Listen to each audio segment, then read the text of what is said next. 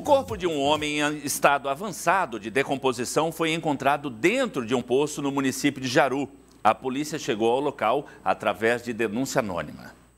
A polícia militar foi acionada para averiguar a denúncia de um cadáver humano que havia sido localizado dentro de um poço em um terreno na rua Beira Rio com a rua Rio Branco, no setor 2, em Jaru.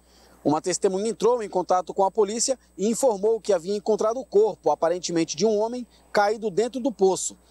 Essa pessoa disse que sentiu forte odor e, ao ir verificar do que se tratava, encontrou o cadáver. Quando os policiais chegaram no local, confirmaram se tratar de um corpo humano, que inclusive já estava em processo de decomposição.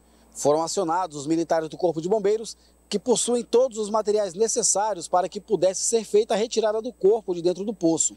Com o uso de cordas e demais apetrechos, os bombeiros fizeram a retirada do cadáver, sendo constatado ser do sexo masculino.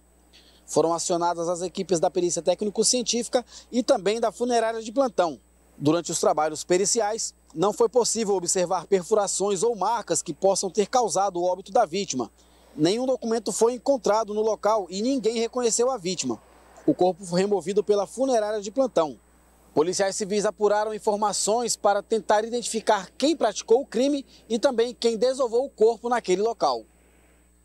Olha, graças à denúncia anônima, né, tão importante a sociedade participar, é, ativando aí as autoridades de segurança nessa questão. 190, Polícia Militar, 197, Polícia Civil. Sempre que você tiver algo suspeito, qualquer informação que puder ajudar a polícia a chegar a um criminoso, chegar ao, ao local de um crime, tão importante você fazer essa denúncia.